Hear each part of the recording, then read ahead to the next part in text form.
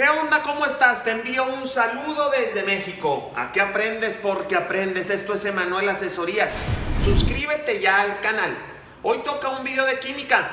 Vamos a clasificar a las diferentes tipos de reacciones en química inorgánica. Tenemos varios ejemplos. Una reacción química también se conoce como ecuación química. ¿Por qué se distingue? Porque en medio de esa ecuación o fórmula hay una flecha.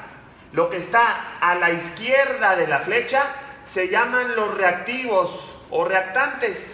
Y lo que está a la derecha de la flecha son los resultados o productos.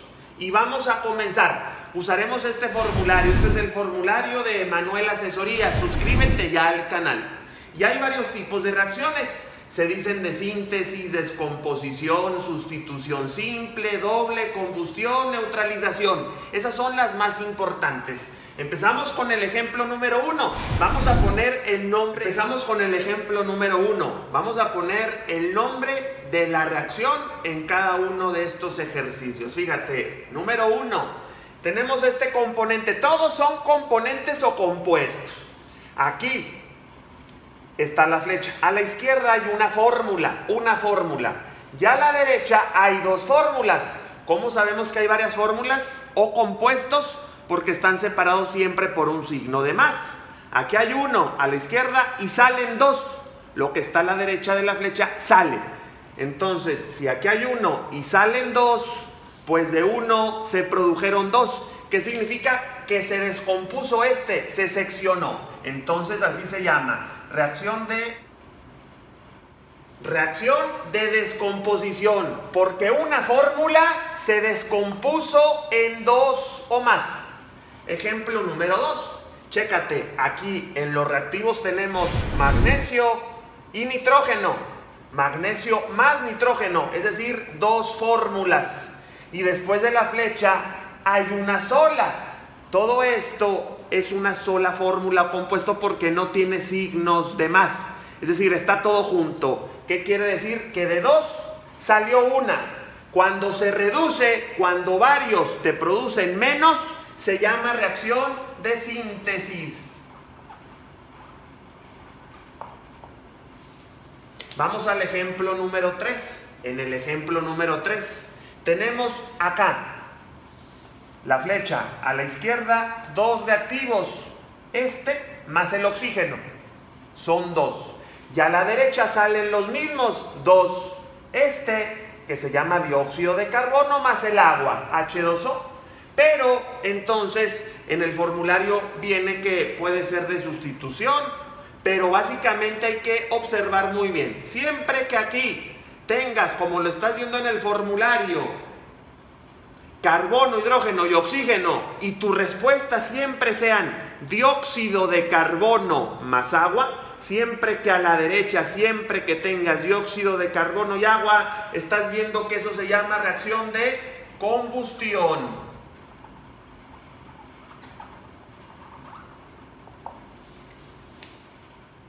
En el ejemplo número 4 tenemos la flecha a la izquierda solamente hay un reactivo, el agua. Es una fórmula.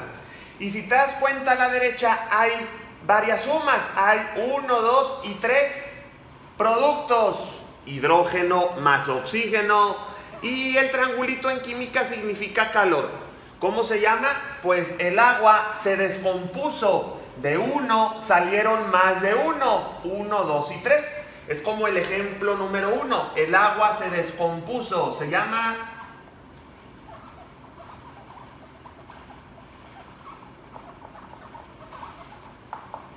Reacción de descomposición. Porque el agua se descompuso en hidrógeno más oxígeno más calor. Vamos al ejemplo siguiente. Tenemos ejemplos 5, 6 y 7, un poco más avanzados. Fíjate, acá tenemos a la izquierda de la flecha, cadmio es un compuesto, es el primero. Y este, no importa el nombre, es un segundo compuesto. Tenemos dos. Y a la derecha se produjeron uno más otro, entonces tenemos la misma cantidad. No es combustión como el anterior, no tienes dióxido de carbono y agua. Pero fíjate, aquí el cadmio estaba solo y ahora el cadmio está con el cloro. Con el cloro estaba el hidrógeno y ahora el hidrógeno está solo. Es decir, fíjate, el cloro se juntó con el cadmio. No importa los numeritos ahí que estás viendo ahí en bajo en color azul. El cloro se juntó con el cadmio, aquí está. Y ahora se quedó solo el hidrógeno con un numerito que no nos interesa. Entonces, cuando hayan hecho intercambio de pareja, el cloro dejó al hidrógeno y se vino con el cadmio, fue un intercambio de pareja. Entonces, eso en el formulario se llama sustitución simple.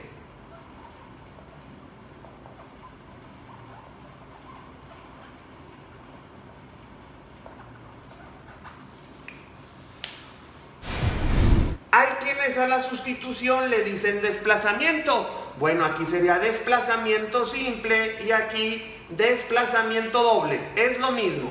Y terminaremos con el ejemplo número 7. Hacemos el conteo. Chécate, aquí tenemos un componente. El primero más el segundo. Y eso da como resultado a la derecha de la flecha un primer componente y un segundo componente, que es el agua. No nos interesan los numeritos o si la fórmula es muy chica o muy grande. Tenemos dos a la izquierda y dos a la derecha. Pero fíjate, hay que observar muy bien. Siempre que uno acá al principio tenga H, todo lo que empiece con H en química se dice que es ácido, menos el agua. Todo lo que empiece con H es ácido. Y todo lo que termine en OH se dice que es una base. Ácido y base, estás viendo en el formulario, que se llama una reacción de neutralización. Entonces, para el ejemplo 7, neutralización es el nombre de la reacción. Y además, siempre que tengas ácido con H y OH, que es base, un resultado será el agua. Entonces, esas se llaman de neutralización. Y es así como hacemos ejemplos para identificar los tipos de reacciones en Emanuel Asesorías. Suscríbete ya al canal. Saludos desde México.